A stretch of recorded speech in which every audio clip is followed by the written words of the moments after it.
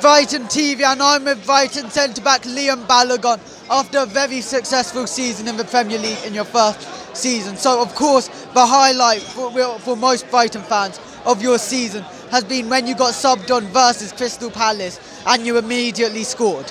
How do you feel about just scoring instantly as a sub?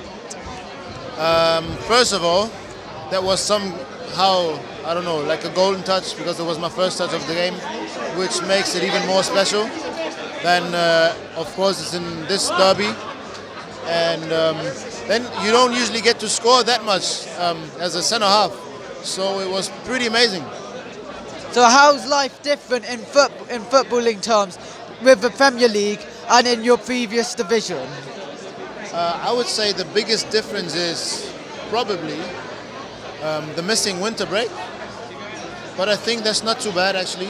Um, that only meant that I did not spend Christmas at home in Germany with my family, but they came over, so I'm fine.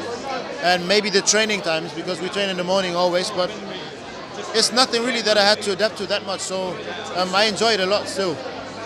Thank you. You're welcome. It's great to meet you. Yes, pleasure to meet you too. Thank you.